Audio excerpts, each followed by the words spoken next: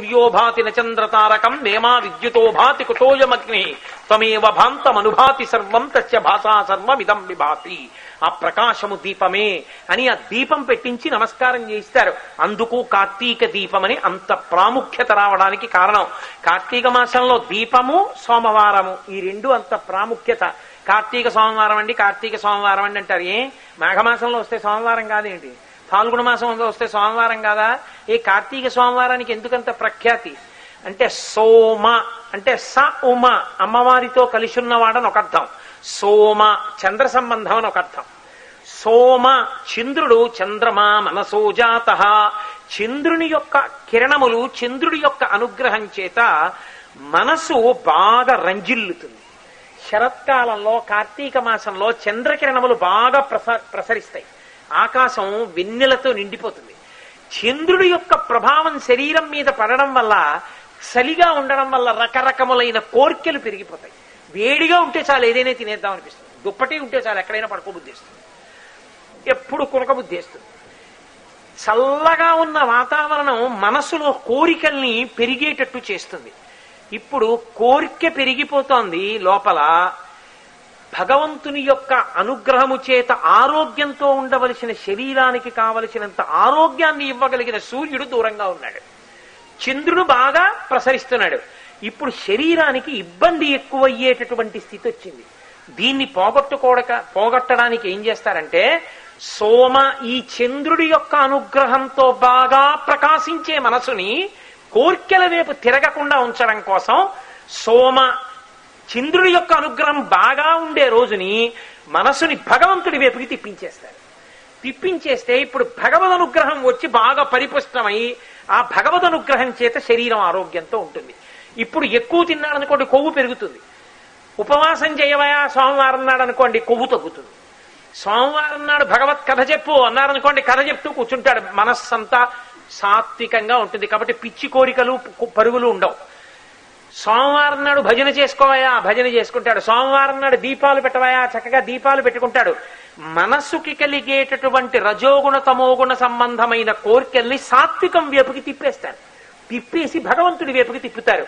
ఇప్పుడు భగవంతుడి దగ్గర కూర్చుని ఉన్నాడు కాబట్టి ప్రమాదములు రాకుండా సాత్వికమైన మనసుకి ఉద్వేగం ఉండదు కాబట్టి ప్రశాంతమైన మనసుతో ఆరోగ్యంగా హాయిగా ఉండి పది కాలాలు సంతోషంగా ఉండేటట్టుగా మనసుని ఈశ్వరుడి వైపుకి తిప్పిస్తారు. అందుకని కార్తీక సోమవారానికి అంత ప్రఖ్యాతి కార్తీక సోమవారం ఉపవాసం చేయండి అనడానికి ఆంతరముగా ఋషులు పెట్టినటువంటి ఆరోగ్య రహస్య కారణము. ఇన్నిటిని క్రోడీకరించడానికి ఇంత అందంగా కార్తీక మాసాన్ని అల్లుకుని తీసుకొచ్చారు. కాబట్టి ద్వాదశి ద్వాదశి తిథి నాడు తీసుకొచ్చి తులసి కోట దగ్గర పూజ. ఆ తులసి కోట దగ్గర పూజ చేసేటప్పుడు ఉసిరికాయలతో ఉన్నటువంటి కొమ్మ పెడతారు. ఎందుకని? ఉసిరికి ఒక్కదానికే ఒక లక్షణం ఉంది. ఉసిరి అంటే నేను చిన్న ఉసిరి గురించి మాట్లాడటలేదు. పెద్ద ఉతి ఉసిరి. రాతి ఉసిరి అంటామే ఆమ్లా అంటుంటారు. ధాత్రి అంటారు. ఆ ఉసిరి గురించి మాట్లాడుతున్నాను.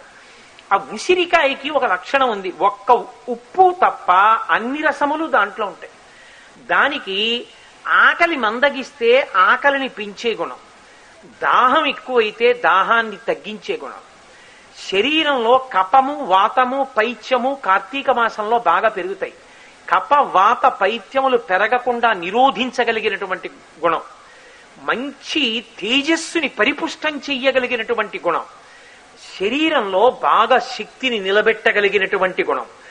చాలా పథ్యంగా పనికొచ్చి శరీరం బయట ఉన్న వాతావరణం నుంచి తట్టుకోగలిగినటువంటి శక్తిని ఇవ్వగలిగినటువంటి గుణం ఉసిరికాయలో ఉన్నాయి.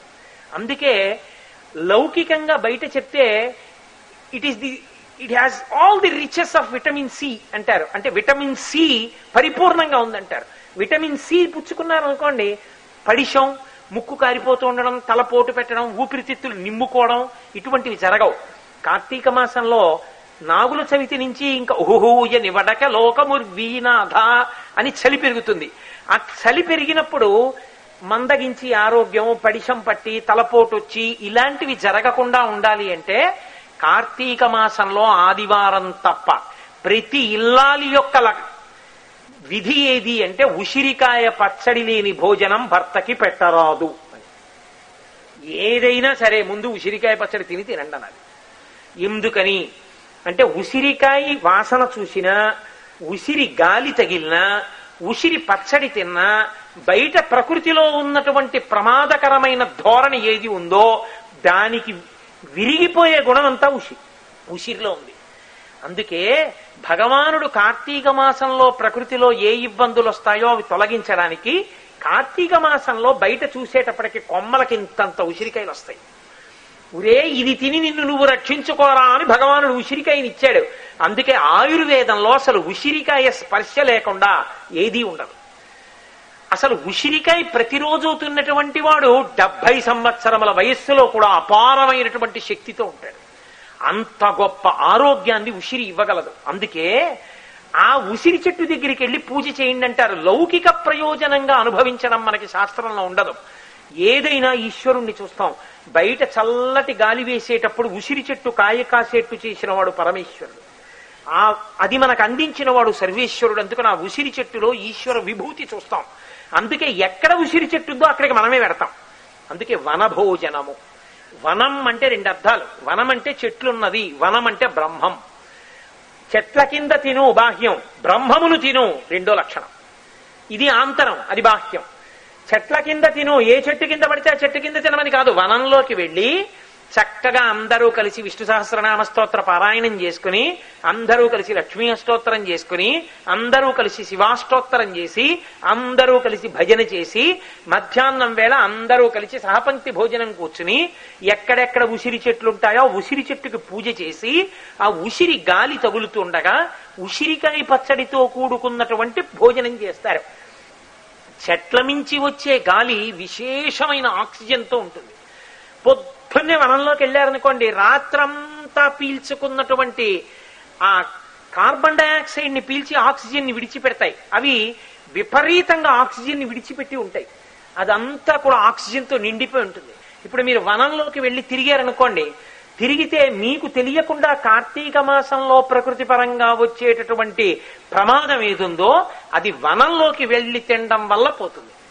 ఉసిరి చెట్టు దగ్గరికి వెళ్ళి కూర్చోవడం వల్ల ఉసిరిగాలి తగలడం వల్ల అది ఉపశమిస్తుంది. ఆ ఉసిరి చెట్టులో దైవాన్ని చూస్తారు.